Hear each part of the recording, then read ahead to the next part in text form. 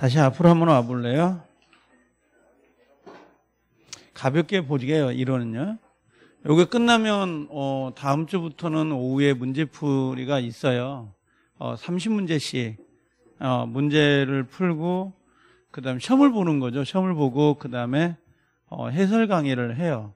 해설 강의를. 한 2시간 정도 하려나? 어, 그쯤 하는 것 같은데, 대략적으로. 음. 30문제인데, 문제는 지금 다 만들어지고 있고 거의 마무리하고 있는 단계예요. 단계에 있는데 나도 뭘 내는지는 잘 몰라요. 어, 의사표시까지는 문제가 나오니까 아, 그렇게 정리를 하면 되고 오늘 이번 배운 거 예, 보고 또 보고 그런다고 생각하시면 돼요. 알겠죠? 시험을 본다는 게 좀 부담스럽기는 하더라고요. 음, 시험 보고 답안지를 내는 것 중에 하나인데 예전에 제가 여기 오기 전에 이 회사 이 회사 오기 전에 다른 회사에 있을 때 거기서 한 11년 정도 있었거든요. 10년? 거기서 아마 10년 있었는데 요리 옮겨왔죠. 옮겨온 이유는 뭘까요? 자, 그렇게 흔들리게 보여요, 내가? 내가 그렇게 똥인 줄 아세요? 맞아요. 음, 근데, 어, 하루가 비었죠, 옮기면서.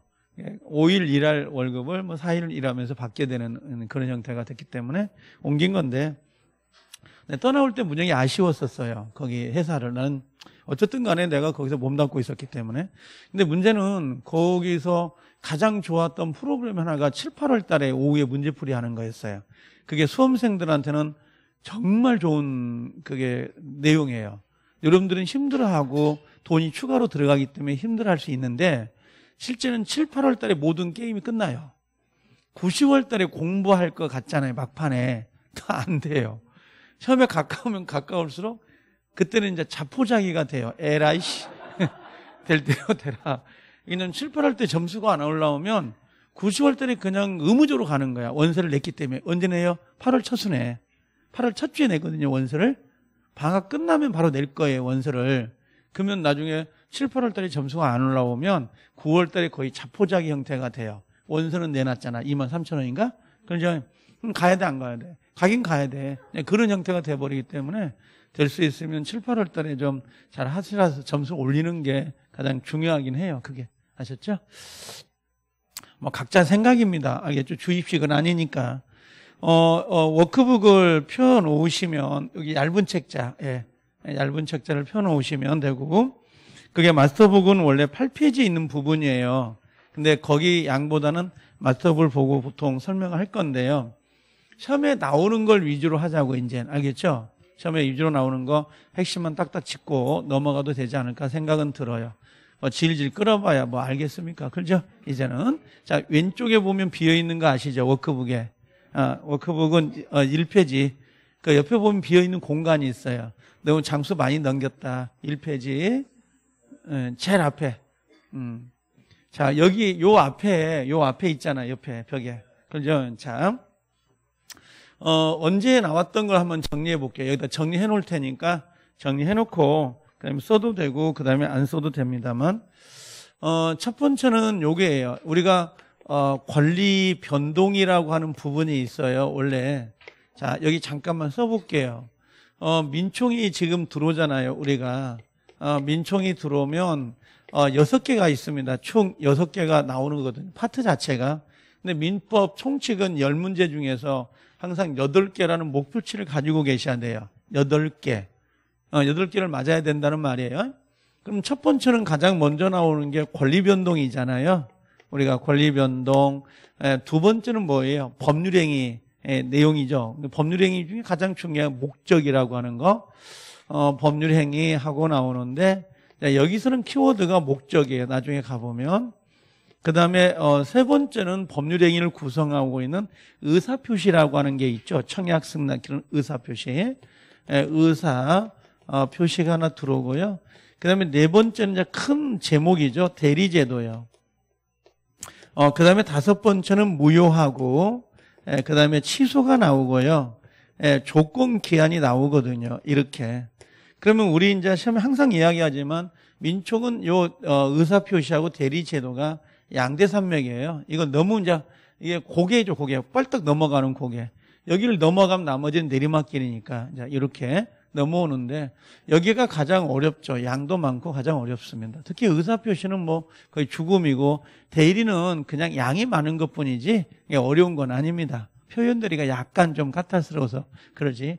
앙탈을 부린다고 할까? 표현들이가? 아, 그 정도? 어, 나머지는 이제 이 내용인데 지금 여기 법률행위 나왔잖아. 여기 지금 첫 페이지가. 여기서부터 내가 써놓은 거거든요. 근데 이 권리 변동을 내가 가져온 거 지금 이렇게 가져온 거예요. 그럼 아까 그 오른쪽에 비어 있잖아 페이지 수가 그 비어 있는 공간을 활용해야 되거든요. 그걸 잘 정리하세요. 이걸요. 자, 이 권리 변동하고 들어오잖아요. 그럼 권리 변동은 어, 내 기억 속에 지금 최근에 나온 건 26회하고 28회 때가 마지막이었어요. 이 문제가 원래 이 문제를 좀 체크를 할 필요가 있는데요. 어, 같이 정리를 해버릴게요. 요걸요. 시험에 나오는 거 한 8가지 정도 짤막짤막하게.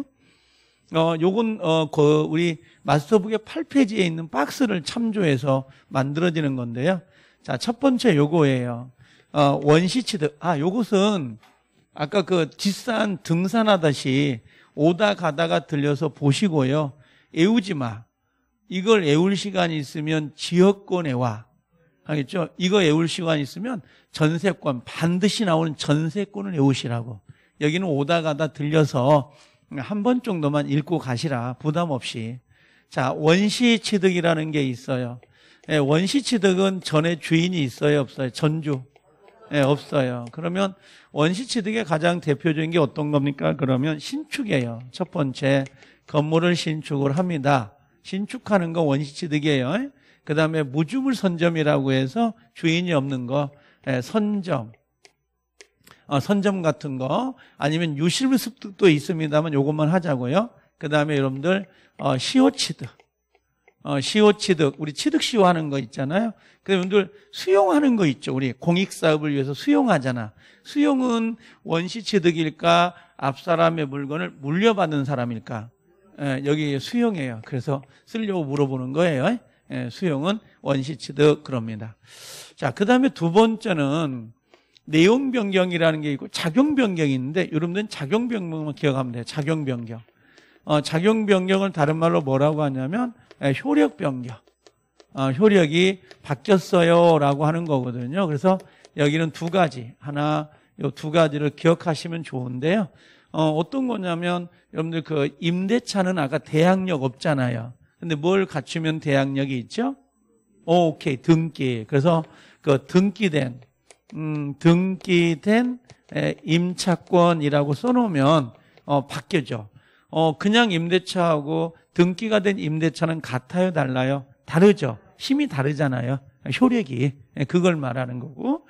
그 다음에 두 번째로는 어, 어 1순위 저당권이 있고 2순위 저당권이 있잖아요. 근데 1번 저당권이 없어진 거예요. 그럼 2번 저당권이 순위가 승진되죠. 그럼 배당금이 달라지잖아요. 어, 우리 순위 승진의 원칙이에요. 그래서 우리가 요 후순위, 후순위, 어, 저당권이 승진된다. 이렇게 해놓을까요? 그러면 금방 알 것 같아. 아, 어, 후순위가 어, 승진이 됐구나. 순위가 승진되면 어, 배당금이 달라지니까 이런 것들을 우리가 작용의 변경, 효력 변경 가장 대표적이에요. 이런 것들이.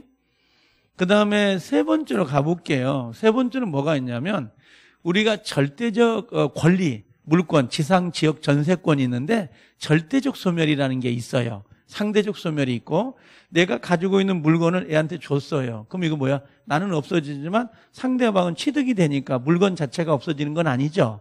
이런 건 상대적 취득인데 절대적 취득을 해볼게요. 내가 살고 있는 전셋집이 불이 나가지고 없어져 버린 거야. 불이 나가지고 그건 뭐겠어요? 이건 절대적 소멸이죠. 네, 절대적 소멸을 한번 체크하는데요. 여기가 목적물이 멸실되는 거예요. 네, 절대적 소멸, 멸실. 근데 이걸 모를 리는 않을 것 같아요. 화재, 아, 안 되면 여기다가, 어, 화재, 화재, 이게, 이게, 아, 화재. 어, 뭐, 불타가지고 없어진 거. 알겠죠? 불을 못 끄리겠네, 불꽃을. 자, 그 다음에 또 뭐가 있냐면, 내가 이것 때문에 그런 게 아니라 혼동 알아요? 혼동? 어, 혼동이 절대적 소멸일까? 상대적 소멸일까? 오케이, 오케이, 오케이. 예, 혼동은 여기 가는 거. 자, 그 다음에 또 하나 여러분들, 그 유치권을 행사하고 있더라도 채권은 소멸시효가 진행돼요. 그죠? 유치권을 행사하고 있다 하더라도 받을 돈 채권은 소멸시에 진행되기 때문에 간헐적으로 돈 달라고 해야 돼요 했던 거 기억나요? 음, 소멸시효. 예, 소멸시효도 예, 절대적 소멸이에요. 그래서 이런 게 나오면 아주 헷갈려요. 나중에 요 승진처럼 아니 수용처럼 요 수용이 꼭 느낌에 어, 승계취득처럼 느껴지는 것처럼 얘도 그런다고 여러분들도 예, 절대적 소멸이에요. 이런 것도.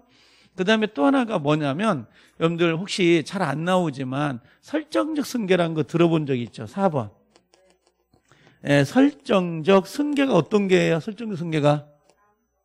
어, 그지. 지상권 설정, 전세권 설정, 저당권 예, 설정.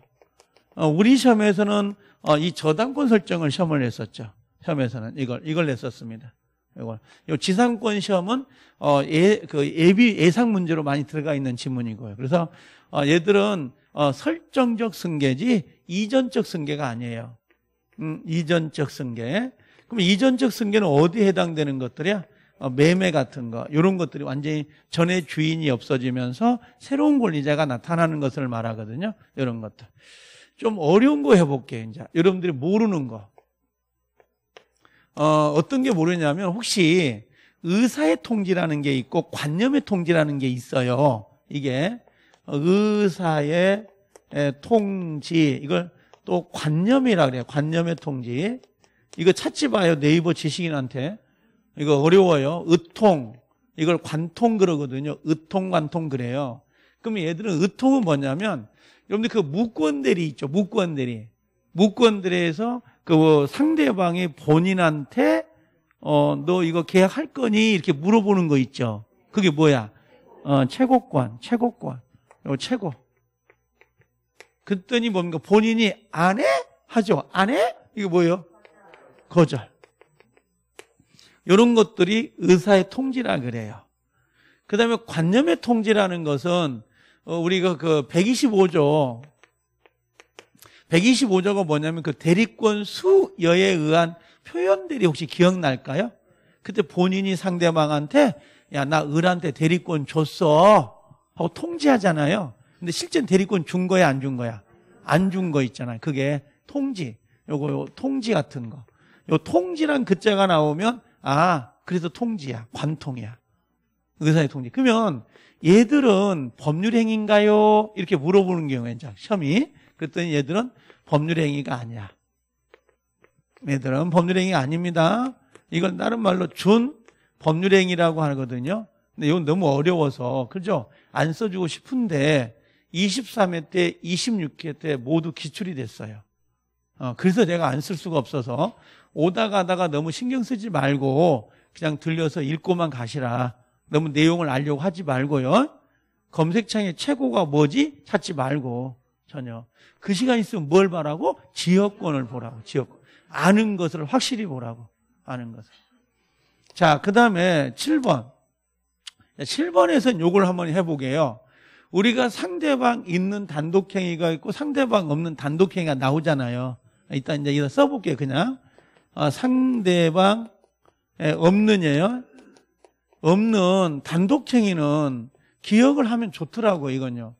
작년에 시험에 나왔어요. 그래서 올해 안 나올 거라고. 근데 한번, 어, 여기가 뭐가 있어요? 유원이나, 어, 유증이 있어요.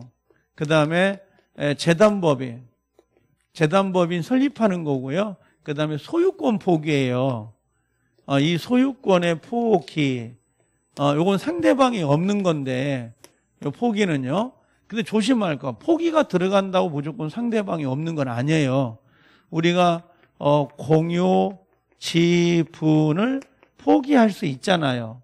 예를 들면 지상권을 예, 포기할 수 있어요, 없어요? 있죠. 같은 포기이지만 얘는 뭐예요? 상대방 있는 예, 단독행위예요. 이것도 이건 있는 거라.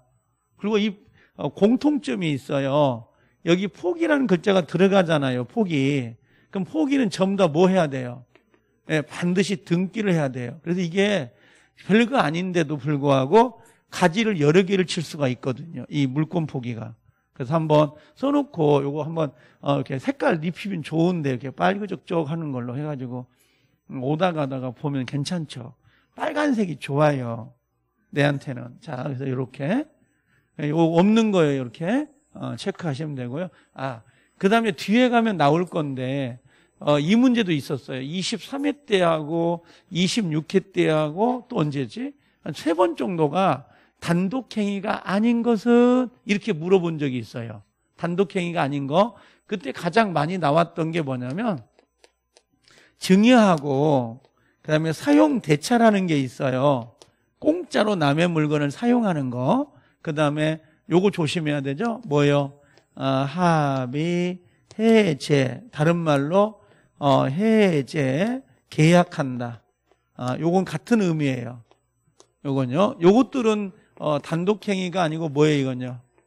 어, 계약이에요. 이렇게. 그래서 여덟 가지 정도. 어, 이 정도만 좀 체크하고 가시면 되지 않겠나 생각은 들어요. 알겠죠? 이렇게. 나중에 이제 여기는 안 써져 있지만은 원시 취득이지만 좀 헷갈리는 게 경매거든요. 어, 경매는 승계 취득이에요. 어, 이 정도. 그래서 아마 권리 변동에서 시험에 나온다면 지금까지 나왔던 기출 문제를 모아놓고 보면 이게 다예요. 근데 이걸 암기해라는 건 아닙니다. 적어서 정리를 해 놓지만 오다 가다가 변두리니까 사이즈니까 그냥 한번 읽고 가시라 이 말이에요. 어? 어, 자, 이제 끝 됐죠? 음, 요건 너무 신경 쓰지 않아도 된다. 자, 그 다음에 이제 뭘 하고 싶으냐면 법률행위 이제 종류로 와볼 거예요, 여기. 요거 끝난 거예요, 이거. 요것만 보라고, 요것만. 다른 거 보지 말고. 뭐 박스 애우고 글지 말고. 이제 권리, 법률행위 여기 있죠? 요리 올 거예요. 이제 요걸 보는데, 자, 요걸 가져오면, 요거 지워도 되죠, 이제. 어, 이제 쓸 거 별로 없어요. 가만히 듣고만 계셔요. 어, 졸지는 말고요. 이게. 자, 법률행위인데, 어, 법률행위가 나오면 이 법률행위가 핵심이거든요. 잘 모르겠다 그러면 어, 계약이라고 해도 괜찮아요. 간 법률행위 니꼬르 계약은 아니에요. 이 법률행위 안에가 단독행위도 있고 계약도 있고 합동행위도 있지만 우리가 보통 법률행위는 계약이 많습니다. 당사자 의사에 의해서. 그럼 여기 법률행위가 나올 때 지금 제일 먼저 보려고 하는 게 종류예요. 종류. 그럼 두 번째는 성립 요건을 보거나 어, 세 번째는 법률행위 뭡니까? 이게 어, 목적이라고 할까요? 그럼 네 번째는 해석인데 가장 중요한 놈이 요 놈이에요. 요 놈인데 먼저 종류를 먼저 봐볼게요. 이거 여기 부분은 거의 시험이 없어요. 지금은 올해는 자 법률행위 종류 단독행위라는 거 보이시죠? 지금 이제 보이죠? 옆에 와서 이제 요게 작년에 이게 32회 때 기출이 돼서 올해 나오기는 좀 어렵다. 그래도 한번 읽고는 가자. 단독행위는 의사표시가 몇 개예요? 어, 한 개야. 자, 여러분들 내가 많이 썼던 거. 갑은 집을 가지고 있어요. 을이라는 사람한테 야, 보증금 1억에 내 집에 들어와서 2년간 살래요? 라고 할 수 있죠. 예, 보증금 1억에 예, 2년간 살래요? 자, 요걸 우리가 뭐라고 그랬어요? 이걸 어, 청약이라는 뭐가 돼요? 하나의 예, 의사표시예요. 그럼 계약이 성립이 되나요? 안 되나요? 안 되잖아요. 그죠? 그럼 누가요? 을이라는 사람이 이렇게 그럽시다 라고 승낙이라는 의사 어, 표시가 있어야 돼. 그럼 의사 표시가 몇 개가 되는 거예요? 두 개죠. 그럼 하나 가지고는 효력이 나와 안 나와? 안 나와. 그죠? 그래서 이걸 뭐라고 한다? 플러스해서 이걸 계약이다 이렇게 이야기를 해요. 그럼 계약은 의사 표시가 몇 개라는 거예요? 음, 두 개 이상, 두 개가 있어야 된다는 거죠. 예. 근데 문제는 요거예요. 얘가 들어와 살고 있다가 얘가 월세를 내야 되잖아. 차임. 근데 얘가 월세를 뭐라고요? 예, 이기 연체를 했어. 두 번 연체하면 얘가 화가 나겠죠. 집주인이. 그럼 얘를 내보내려고 하잖아요. 그럼 나가라고 하겠잖아요. 나가라. 이 나가를 우리가 어, 해지라고 해요. 해지. 그럼 나가 일방적으로 나가 그러죠. 그럼 을은 방, 어, 반문을 못 해요. 그냥 짐 싸가지고 당장 나가야 돼요. 그럼 하나의 의사에 의해서 의사 표시에 의해서 효과가 바로 발생이 되죠. 의뢰 의사는 필요 없잖아요. 요걸 단독행위라 그래요. 다시 가볼게요. 여러분들 그 임대차에 가면 임차인의 권리 중에 아주 큰 권리가 있습니다. 그게 비용 상환 청구권, 어, 어, 부속물 매수 청구권, 지상물 매수 청구권이 있어요. 그럼 부속물 매수 청구권은 임차인 임대인에게 사세요라고 말을 하죠. 그럼 임차인의 그 하나의 의사 표시에 따라서 바로 매매가 성립돼 버리는 권리예요.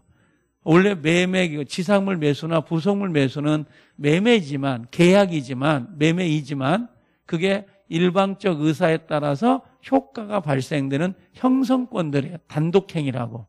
원래 매매라는 것은 청약과 승낙 두 개가 합치돼야 되잖아요. 근데 그 부속물 매수나 지상물 매수는 임차인의 일방적 의사에 따라서 효과가 발생된다고. 매매가 성립돼 버린다고. 근데 그 매매 계약은 단독행위라는 거야. 그 권리는. 지상물 매수, 부속물 매수는.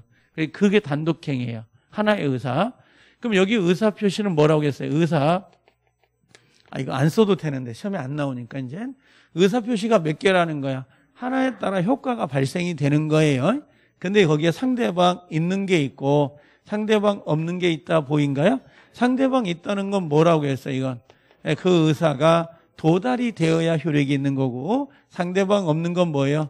예, 도달할 필요가 있다 없다? 없다. 사람이 있다 없다도 갈 수 있지만 도달하냐 도달하지 않느냐 그 차이인데요.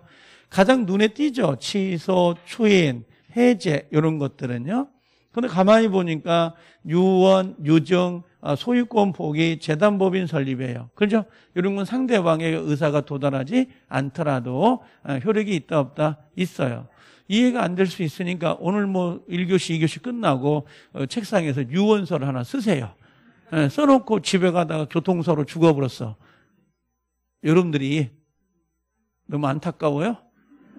어, 안타까운 죽음들 많아. 자, 좌우재간. 어, 아니, 그거 하려고 한 게 아니라, 여기 유언을 써, 써놓고 가다가 죽은 거죠. 그럼 그 유언서를 가족들이 알아 몰라. 효력이 있어, 없어? 있어. 언제부터? 어, 죽은 순간부터.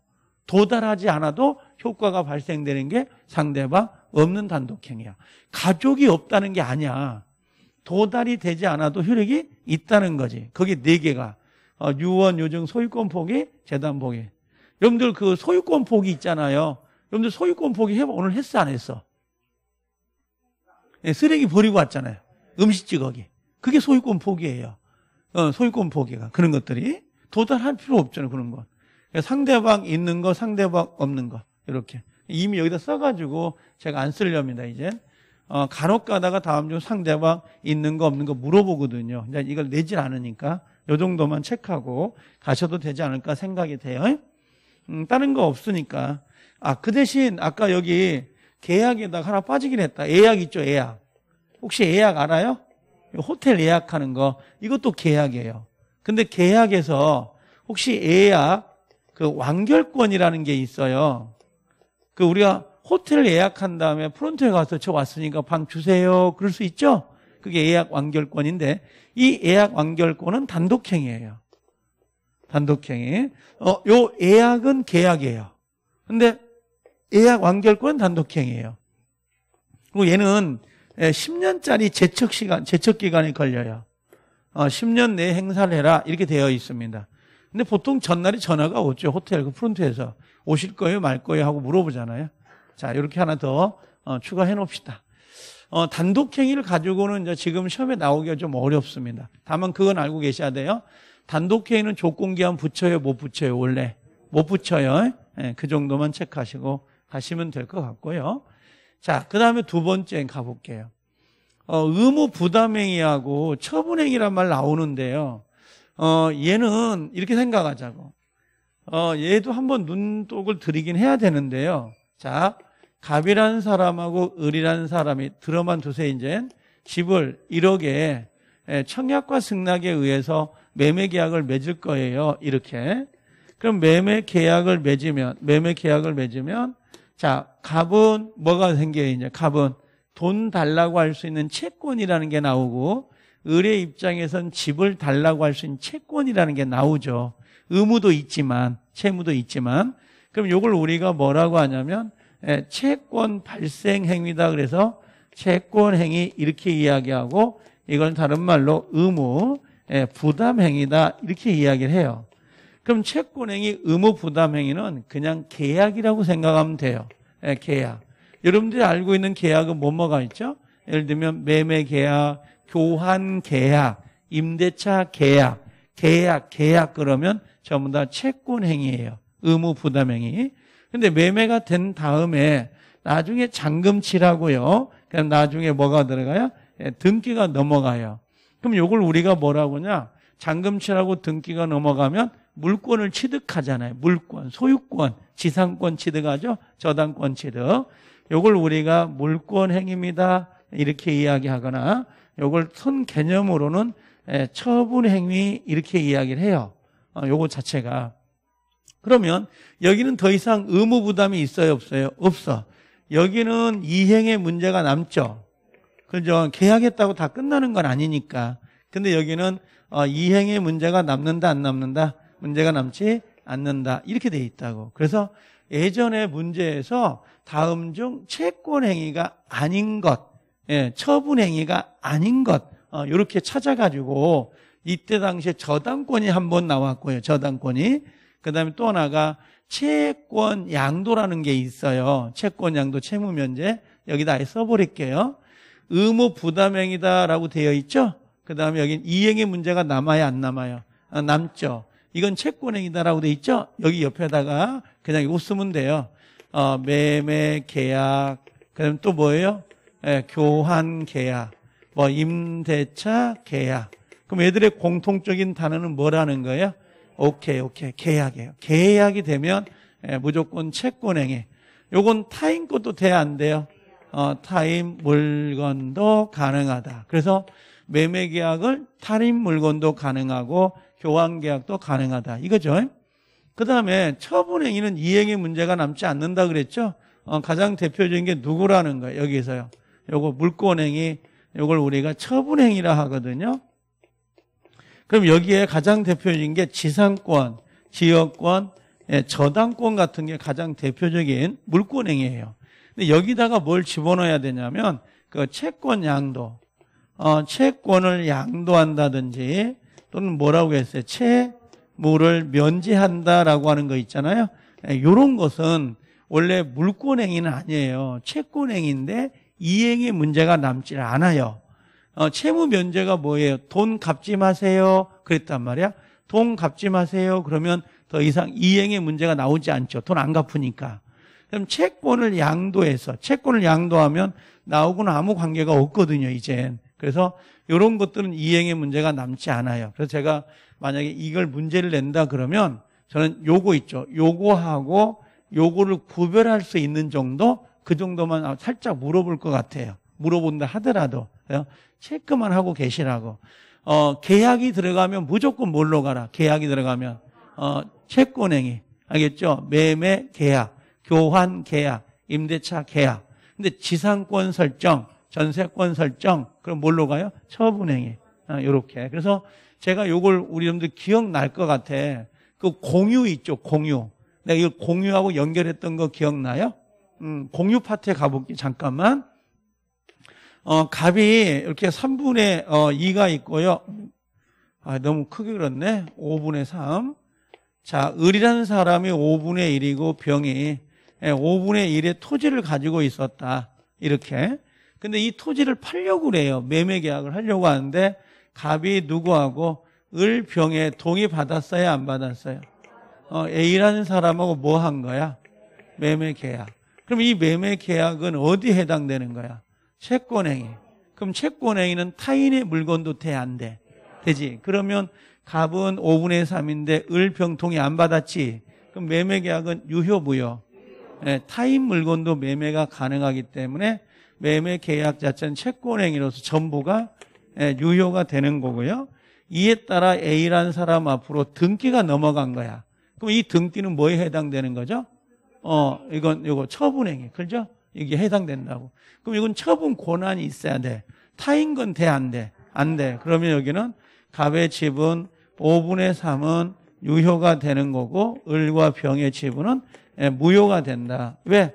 요건 처분행위라 처분행위이기 때문에 처분행위는 처분 권한이 있어야 돼, 없어야 돼? 있어야 되고, 얘는 권한이 있어, 없어? 아, 이거는 없어도 된단 말이야. 타인 물건 돼. 그래서 답이 달라지는 이유가 바로 이것 때문에 그래요. 채권행위하고 처분행위 때문에. 채권행위는 타인 물건도 되지만 처분행위는 타인 것이 안 되거든요. 구별할 수 있겠나요? 여기만 시험에 나오는 게 아니고 이렇게도 연결될 수 있다는 것을 같이 기억을 하시라고. 어차피 이제 마지막이니까. 자, 됐죠? 그 다음에 하나 더 해볼게요. 지워도 되죠, 이거. 이런 쓸게 없어. 저번에 5, 6월 달에 너무 많이 해가지고 내용들을. 지워도 되죠. 어, 다 써져 있으니까. 이게 여러분들이 모르는 게 아니고 실수만 안 하면 돼요. 실수만. 실수라는 게 문제고, 그다음에 가장 큰 건 이제 지속력이 좀 있어야 돼요.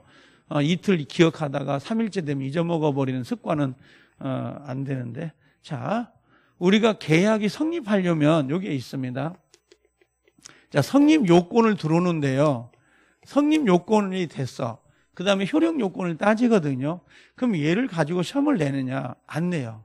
안 내는데 알면 좋긴 하더라고, 이게. 자, 어떤 거냐면, 어, 갑이라는 사람이 집이 있고, 을이라는 사람하고 계약을 맺을 거거든요. 그럼 얘가 청약을 한다 그랬죠? 그죠? 그럼 이건 뭐라고 했어요? 을, 예, 승낙을 하죠. 지금 요것은 매매 계약이잖아. 채권행위. 근데 감남과 을려가 결혼한다고 합시다. 그럼 뭐라고 했어요? 감남, 을려. 그죠? 그럼 을려가 뭐예요? 청혼해야죠.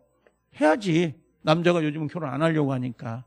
그럼 남자가 뭐예요? 봐가지고 조건 좋죠. 빌딩도 하나 가지고 있고. 그죠? 어, 부모님은 안 계시는 것 같고. 그죠?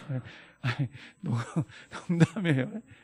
자, 아니, 이런 농담이 별로 안 좋나? 난 이런 농담 좋아하는데.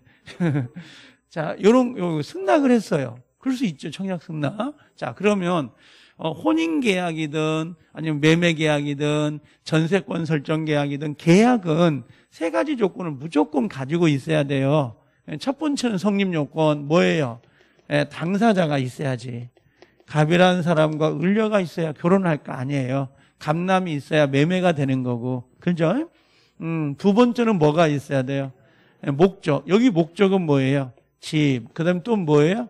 자, 이건 1억이 목적이잖아요. 여러분들 결혼할 때 목적이 있지 않았어요? 사랑이라고 이야기 하지 마요. 알겠죠? 다른 목적이 있지 않았나요?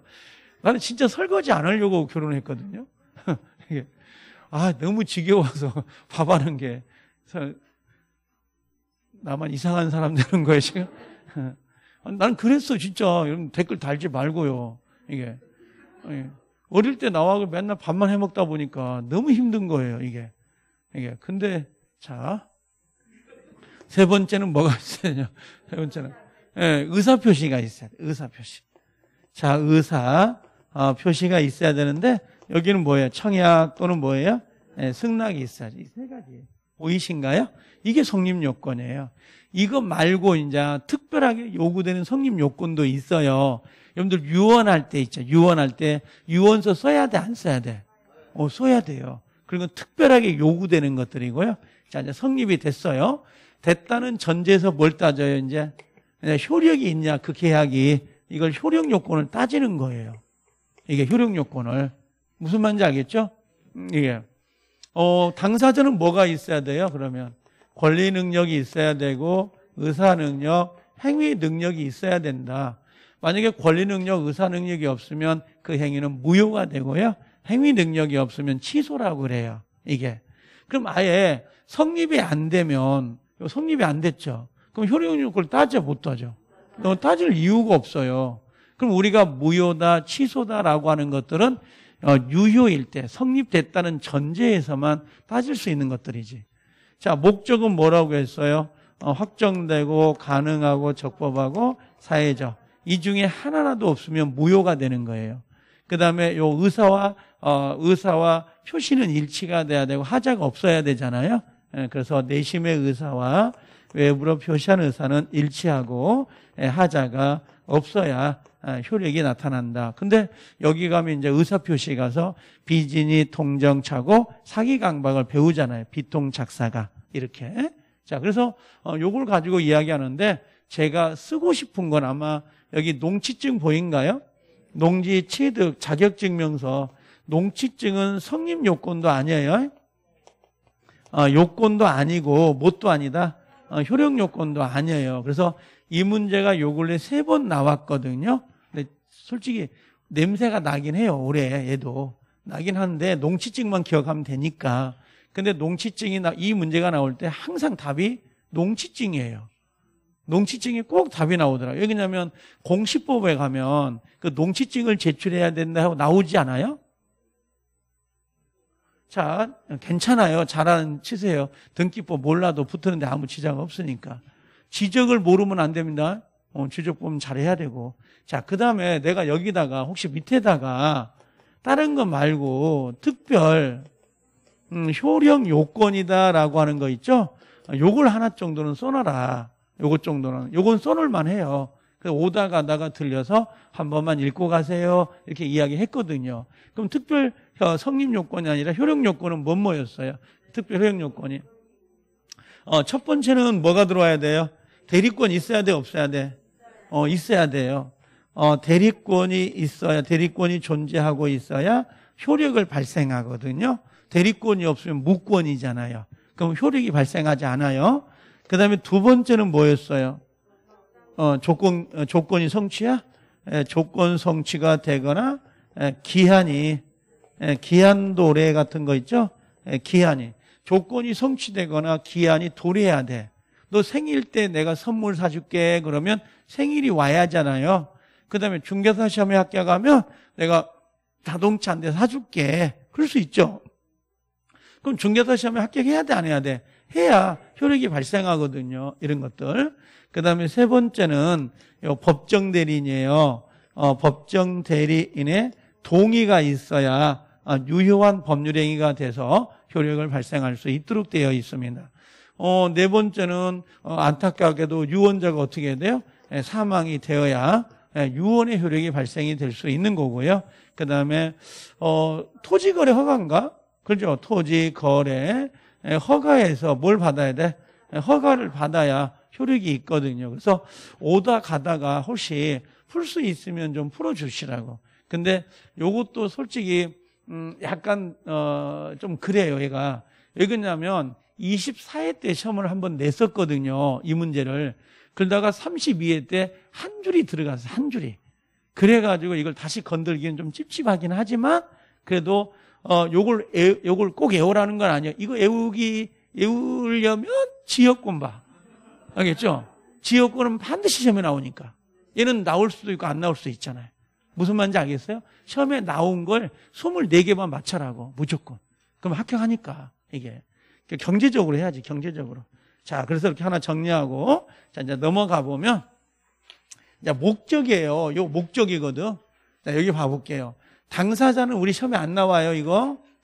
그죠? 그 다음에 목적을 보고 이제 의사표시를 보잖아요. 자, 목적을 한번 봐볼게요. 어, 목적에 오시면, 요거 이제 하게, 여기. 자, 요 목적, 여기 빼오는 거예요. 여기는 반드시 시험에 들어가요. 작년에도 두 문제가 들어갔고요.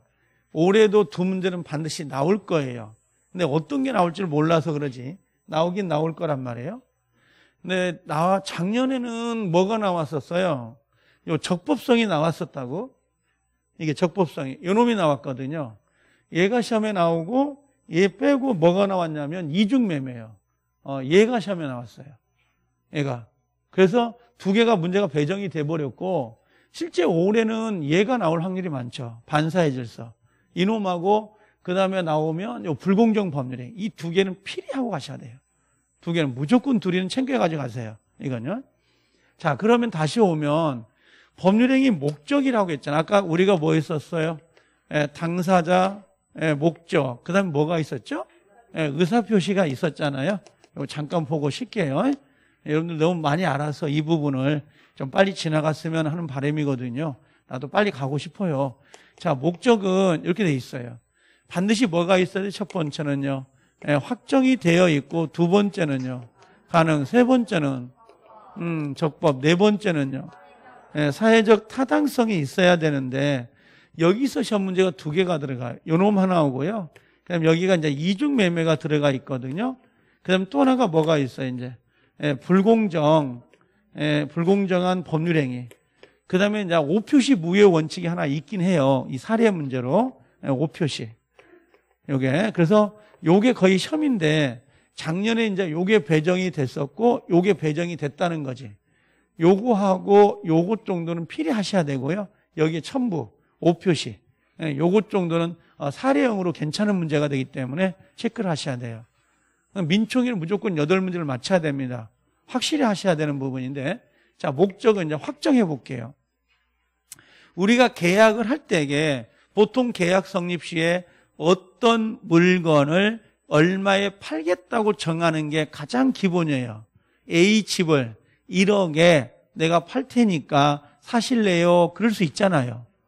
근데 만약에 목적과 가격을, 목적물과 가격을 계약 시에 성립시키지 않고 잔금을 칠할 때까지 확정해도 상관이 있다 없다? 없다. 그렇죠? 그러면 자, 확정은 언제까지만 하면 돼요? 이행기까지. 이행을 모르겠다 그러면 예, 잔금시라고 해도 괜찮아요. 그런데 언제까지만 계약, 예, 계약 예, 성립 시에 반드시 확정돼야 된다 그러면 X가 돼요. 자, 제가 뭘 이야기했죠? 그때 개 이야기했던 거 기억나요? 개? 그래서 딸내미가 개를 하나 사달라고 한더라. 개를 갔더니 어, 개집을 개를 파는 집을 갔더니 A 개가 50만 원이고 B 개가 100만 원이더라. 그럼 딸내미 취향을 모르니까 제가 뭐라고 했어요? 계약금 10만 원 드리고 나중에 뭘 하면요? 음, 뭘 하면 어, 어 잔금 우리 딸내미 데려와서 잔금 칠할 때 A계를 줄 건지 B계로 선택할 건지 그때 정할 수도 있어요, 없어요? 있다라는 거야. 그럼 계약 시에 반드시 확정되는 게 아니라 그 이후에 확정해도 상관이 없습니다. 그런 거잖아요. 그래서 여기 요거 하나만 기억하시면 돼요. 어, 이행기까지만 확장할 수 있으면 된다. 뭐와 뭐는요? 목적물과 어, 대금 자체 같은 게. 자, 그 다음에 가능성인데요. 이 가능성은 뭐라고 했어요? 다른 말로. 어, 실현 가능성을 의미해요. 근데 실현 가능성은 예, 물리적인 걸 말하는 게 아니고 뭘로 정한다? 예, 사회 예, 통념으로 어, 가능 여부를 가름하게 돼 있습니다. 근데 시험장에 가면 그 지금도 예상 문제에 그런 게 있긴 하더라고요. 물리적 가능성을 가지고 판단한다. 그런 게 나오기도 하더라고요. 근데 사회 통념이에요. 사회 통념. 우리 시험에서는 얘는 기억하고 계세요. 어디까지요? 원시적 불능과 후발적 불능을 구별할 수 있어야 되고 그 다음에 여기요. 여기까지는 기억하셔야 돼요. 무연지, 유연지 보이죠? 여기까지는. 자, 그럼 여기 해볼게요. 어, 요거, 요거 봐봐요. 어, 여기 저 봐볼래요? 어, 원시적 불능이 이제 공부한 사람들, 원시적 불능이 되면 계약을 체결하기 전에 목적물이 소실돼 가지고 이행할 수가 없잖아요. 그럼 매매 계약을 체결하기 전에 목적물이 소실된 거죠. 그죠? 그러면 이행의 문제는 나타나지 않겠죠. 근데 손해배상은 해줄 필요가 없다. OX. 이건 X가 돼요. 원시적 불능은 무효죠. 근데 계약 체결상 과실 책임이 나와서 신뢰배상을 해야 되는 경우가 생겨요. 그럼 손해배상 책임 문제가 나와야 안 나와요? 나오는데 어, 손해배상 책임을 물을 필요가 없다. 이렇게 나올 때가 있다는 거야. 그럼 틀려버리는데 자 이제 구별을 해볼게요. 갑이 집이 있어요. 그 다음에 을이 있습니다. 그럼 이렇게 집을 이렇게 계약을 했어요. 7월 1일 날 계약을 해서 잔금을 8월 1일자에 이행하기로 약속을 했습니다. 그럼 계약은 여기서 한 거죠. 어, 이건 계약이고 여기는 뭐예요? 잔금 칠한 날짜가 되는 거죠. 근데 목적물, 누구 목적물이요? 요 목적물이 언제 소실된 거예요? 예, 여기. 예를 들면 6월 20일 날 예, 소실이 됐는데 그걸 모르고 계약을 체결한 거예요. 그럼 계약 시에 이미 목적물이 없는 거죠. 이걸 뭐라 그래요? 이걸 원시적 불능 이렇게 이야기하고 원시적 불능은 유효의 무효예요? 무효. 어, 이렇게 정리하시면 되죠. 자, 계약을 체결할 땐 집이 있었어요? 없었어요? 있었죠. 잔금을 칠하기 전에 목적물이 어떻게 돼요? 이 중간에 예, 소실이 됐어요. 이걸 뭐라고 불러요? 예, 후발적 예, 불능 이렇게 불러요. 유효 무효? 유효가 됩니다. 그 다음에 이 뒤에 있는 사례 문제들은 이젠 계약 체결상이나 위험 부담으로서 저기 계약법에 가서 문제가 배정이 된다고. 여기서는 안 나와요. 이 계약, 우리 민총에서는. 민총에서는 유효인지 무효인지만 물어보는 거야. 여기 보면. 자, 원시적 불능 이해가 되죠. 뭔 말인지. 그럼 요 두 개 전제 조건.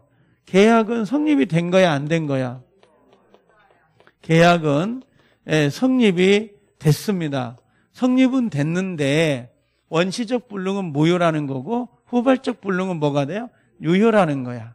그럼 원시적 불능은 나중에 계약 체결상 과실 책임이 나오기 때문에 요 신뢰배상이 뭐예요? 어, 손해 배상의 문제가 나올 수 있다 없다? 있다. 그래서 원시적 불능은 손해배상의 문제가 나올 여지가 없다. 그러면 뭐라고요? X가 된다고. 그렇게 이제 빗대요. 그 다음에 후발적 불능은 채무불이행, 귀책사유, 위험부담이 나올 거예요. 이렇게. 어, 채무불이행, 알겠죠? 네, 그래서 여러분들 요것만 좀 기억해라고. 무효인지, 유효인지, 요것만 좀 좀 구별을 하시라고. 자, 조금 참을 수 있죠. 여기까지 정리하고 넘어가게요. 여기 작년에 얘가 배정이 돼서 예, skip해도 되는데, 자, 적법성이에요. 자, 어떤 거냐면, 이런 거네요. 음, 그 대신 좀 일찍 끝나니까 좀 괜찮을 거예요. 어, 좀 일찍 끝나요, 오늘은. 어? 어 2시 안 넘어갈 거니까 걱정하지 마요. 저번 달엔 2시 한 항상 20분, 30분에 끝냈는데 그 이유가 그 평가 문제 10문제를 해설하다 보니까 그랬던 거고 이제 이건 없어요. 오후에 문제풀이 넘어가기 때문에. 그래서 좀 일찍 끝나니까 너무 어, 부담스러워 하지 마요. 어제 2시에 끝났나요? 1시? 자. 아, 세법이잖아. 아이, 참. 세법이요. 세법이니까 그러지. 자. 어, 적법성이 뭐냐? 법규예요. 오늘 1시 반에 끝나볼까? 어, 싫어하는데? 대답들이 없는 거 본데? 자, 법규가 있어요. 나 1시 반에 끝낼 수도 있는데. 자, 자, 봐봐요. 왜 대답 안 해요? 이구동성 이야기를 해주면 나는 한다니까. 어, 1시 반에 끝나고 가고 싶어요? 어, 자, 봐요. 어, 이무규정이에요? 어, 의무 규정이 있고, 그 다음에 강행 규정이 있잖아요. 그래도 제일 공부 잘하잖아요, 여기는. 예. 내가 참 잘해요, 공부를. 여기는. 하려고 하는 의욕이 있으면 잘하거든요. 그리고 수업도 재미있어요, 원래. 학생들이 하고자 하면. 눈빛이 다르면. 근데 별로 비슷해. 이게 5, 6월 뭐 늘어진 동태 눈깔이다 그러면 선생님도 힘이 없어요, 원래. 여긴 참 좋은 게 뭐냐면 대답을 물어보면 대답을 하잖아요. 근데 그걸 뒤에서 뭐라 하지 않는다는 거. 그걸 정말 싫어하는 사람도 있거든요. 수업하는데 왜 대답을 해? 지금 얼마나 안다고? 아주 그, 그런 분도 있어요. 그거 걸지 말라는 거지. 이게 호응이랑 시장통에 가서 시끌벅적해야지 셔터마우스 정말 조용하면. 그죠? 뭔 시장에 가겠냐고. 똑같은 거지. 활기가 없으면. 이무기정은 이건 뭐예요? 어, 선풍기 있죠. 어, 선풍기 알아요? 어, 선량한 풍속, 기타, 사회 질서에 관계된 거야, 관계가 없는 거예요. 어? 아, 시, 실력은 아닌 것 같아. 관계가 없는 거지. 그럼 이걸 당사자가 배제해서 다른 약속을 할 수 있어, 없어? 어, 위반해도 된다, 안 된다? 아, 유효, 무효? 음, 유효지. 어, 그 다음에 강행복규는 반드시 지켜야 되는 거잖아요. 그럼 뭐 관련된 거죠? 예, 선풍기. 어, 얘는 위반이 됐죠. 그러면 얘는 유효, 무효? 예, 무효란 말이에요. 그럼 강행 규정은 다시 두 개로 구별이 돼요. 이거 안 써놔도 돼요. 예? 자, 뭐뭐예요? 하나가 어, 효력 규정. 그다음 또 하나가 어, 단속 규정이에요. 둘 다 강행 규정은 강행 규정인데 어, 효력 규정이 위반되면 뭐가 돼요? 얘는 무효가 되고 얘는 예, 유효가 돼요. 그렇죠. 그럼 우리가 일반적으로 강행복규라고 이야기할 때 무효라고 했잖아요. 누구를 말하는 가요? 어, 효력 규정을 보통 이야기하는 거예요, 이게. 그럼 작년에 우리 시험에 뭐가 나왔냐면 여기에 해당되는 애하고 여기에 해당되는 애를 섞어요. 어, 섞어 놓고 찾는 방법이에요. 찾는 방법. 그러면 여기 볼까요? 자, 무허가 음식점. 안 써져 있지만, 무허가 숙박업. 무허가, 무허가. 그럼 내가 무허가 음식점에서 음식을 먹었죠? 그 매매 계약은 유효, 무효? 유효. 근데 그 업주는 걸리면 처벌은 하겠지. 얘는 유효, 무효? 유효. 중간 생략 등기 유효, 무효? 유효. 부동산 등기 특별조치법 제2조의 부특법에 중간 생략 등기 하지 마! 하고 금지 규정을 뒀단 말이에요. 근데 그걸 위반해버린 거야. 유효, 무효? 유효. 근데 처벌은 받아, 안 받아? 받아. 이 중간 생략 등기. 다만 토지거래 허가구역은 된다, 안 된다? 안 된단 말이야. 토지거래 허가구역에서는 중간 생략 등기를 해버리면 중간자가 잠탈이 돼버려요. 안 된다고. 그 다음에 중개사 직거래 하는 거 있죠. 뭐 고객이 물건을 맡겼는데 요걸 뭐야? 중개업자가 자기가 돈이 있으니까 직접 매수하면서 직거래가 된 거예요. 그건 유효부요. 그 계약 자체는 유효이지만 처벌은 받아 안 받아? 음, 처벌이 어떻게? 내용이. 처벌 내용은 어떠냐? 중개사법에. 3, 3년에. 3년에 뭐? 아, 3천만 원이에요? 오, 세네. 이하요? 그런 거 없어? 아, 그럼 100만 원도 떨어질 수 있구나. 어, 자, 어, 그 세다 그래도 그죠? 어, 센 거네. 어, 요런 거만 찔러도 괜찮겠는데? 자, 중개사 여기 직거래 알겠죠? 단속 규정 유효 무효? 예, 유효예요. 자, 그래서 제가 아마 저번 달에 요걸 하나 써놓으세요 해가지고 써놔라고 하는 게 있었는데, 어, 이렇게 보여요? 아, 진짜 잘한다, 야. 내가 지금 여기 와서 그걸 네 번, 세 번째 물어보는 거거든요. 어, 앞에 두 하고는 이야기를 잘 못하더라고. 그걸. 음, 여러분들은 아는 것 같은데, 이게 진짜. 자, 뭐, 딴 데가 똑같이 이야기를 하긴 하지만. 여기, 여기 봐봐요. 요 효력 규정 보이죠? 이번은 뭐가 돼? 뭐요? 이제 거기에 해당되는 애들이 이게. 보이시죠? 밑에 써놔라고 해서 아마 써놨을 것 같아. 그래서 여기 무등록 중개업 있잖아요. 만약에 어, 중개사 학증이 없다든지 근데 오부로 해버리는 것들. 그 다음에 이자율을 초과하는 거. 그 다음에 공익법인의 재산. 요게 아마 25회 때 정답이었을 거예요. 이 정답이. 그럼 중개사 직거래가 아까 그게 32회 때 정답이었었고. 그 다음에 요 중개 수수료 초과하는 거 있잖아요. 네, 초과하는 건 유효, 무효? 무효. 전부 무효예요. 초과 부분만 무효예요. 초과 부분만. 명의 신탁은 유효, 무효? 무효. 그 다음에 요거 조심하세요. 국유재산 공무원 취득금지라고 되어 있잖아요. 지금 무슨 말이냐면 국가 재산을 관리하는 공무원이 그 국가 땅을 이렇게 건물 같은 거 우정국 건물이라는 걸 직접 매입해 버리는 거. 옛날에 H공사 같은 거 직원들 땅 같은 거 매입하는 경우 있었잖아요. 예, 그런 것 안 된다. 단, 어, 요건 직접 위반이 되거나, 그 다음에 간접 위반이라는 게 있어요. 간접 위반 이걸 탈법행위라고 해서 어 이건 타인 명의로 부동산을 어, 국유재산 명의를 가져오는 거야. 그러니까 자기가 직접 가져오는 게 아니라 다른 사람을 내세워 가지고 가져오는 형태 이런 것들 어, 전부 다 무효입니다. 자 강행법규 위반되면 절대적 무효죠. 예, 이건 계속 이야기할 거고 이제 어, 무효행위 추인 안 되고 표현들이 적용 안 되고 강행복교 아까 간접 위반 탈법이 무효다. 다섯 번째 어, 강행법규를 음, 위반자 어, 위반자도 스스로 무효를 주장할 수 있어요 없어요? 어, 주장할 수 있는데 여기서 시험이 다섯 개 중에 가장 잘 나온 시험 문제가 어떤 것 같아요? 다섯 개 중에 어떤 게 제일 잘 나올까 시험에? 어? 어, 추인이요. 이거. 얘를 가장 많이 물어보는 것 같아요.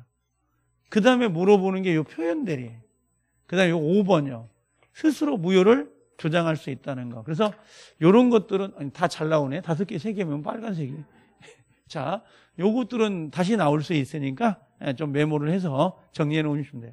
이것만 외우시라고. 이것만 외우고 문제로 연결하면 되니까 나중에. 지금은 뭐 얼마 남아있지 않기 때문에 이해하고 그런 게 필요 없어요. 그냥 막 가는 수밖에 없어요, 지금은. 지금 뭐 1차, 2차까지 하려면 얼마나 정신 없습니까? 내가 여섯 과목 들어가는데, 이게. 자, 요 정도 정리해놓고 좀 쉬었다 오면 103조를 봐볼게요. 갔다 오세요, 좀.